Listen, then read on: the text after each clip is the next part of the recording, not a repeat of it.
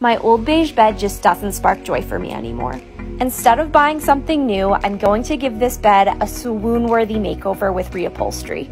Let's start off by removing the tufting on the headboard and then using a staple remover to remove the fabric. Your first time removing staples can be tough, but once you get used to it, it becomes easy.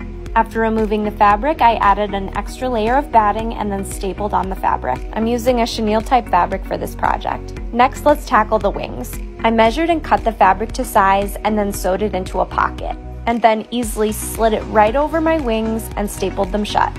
Now for the foot and side rails. I stapled in tacking strips for an extra sturdy and professional looking finish. When I flipped the fabric over here, it was nice and smooth and flush. The tricky part though is handling these ends. Very neatly, I folded these up and stapled them down. With all six pieces now reupholstered, let's tackle the feet. I feel like bed feet don't get enough attention, but I think these will. Now let's reassemble the bed. Add the feet, add back the hardware, and voila! A swoon-worthy bed fit for a queen. I'm in love with my fabric selection and these gorgeous feet.